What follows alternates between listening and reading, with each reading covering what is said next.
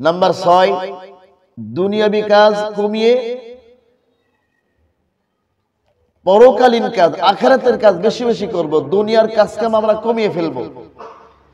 অনেকে আছে, রমজান আসলে তার দুনিয়াবি কাজ কাম আরও বেড়ে যায়।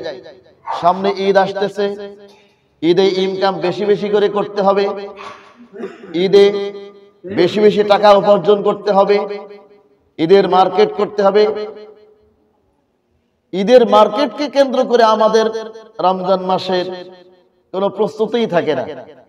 এই জন্য বলা হচ্ছে যে দুনিয়ার কাজকাম বেশি কমিয়ে ফেলতে হবে, কমাইতে হবে।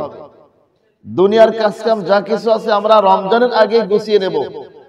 এই জন্য রমজান মাসে যেন কাজকামের চাপ কম থাকে ফ্রি হতে পারি।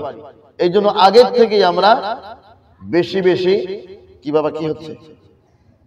এটা করে না আমরা কাজ কাম কমাই দেব দিয়ে আমরা রমজান মাসে বেশি বেশি ইবাদত করব।